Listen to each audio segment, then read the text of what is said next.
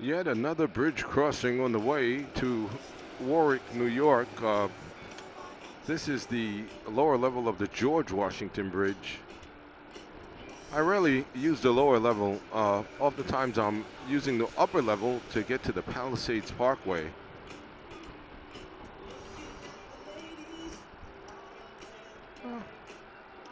I guess it's something to look at.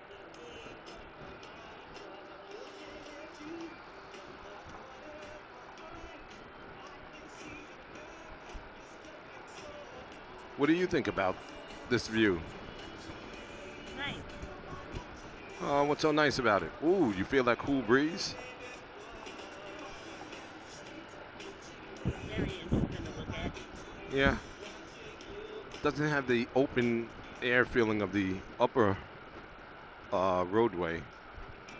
You know, it's a little bit confining.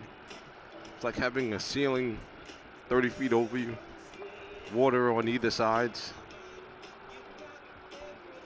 Well, I guess it is what it is.